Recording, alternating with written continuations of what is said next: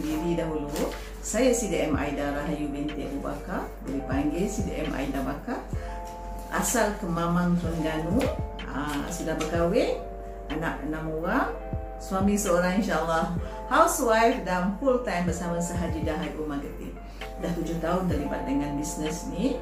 Alhamdulillah dua tahun setengah saya CDM pada 31 Ogos 2017.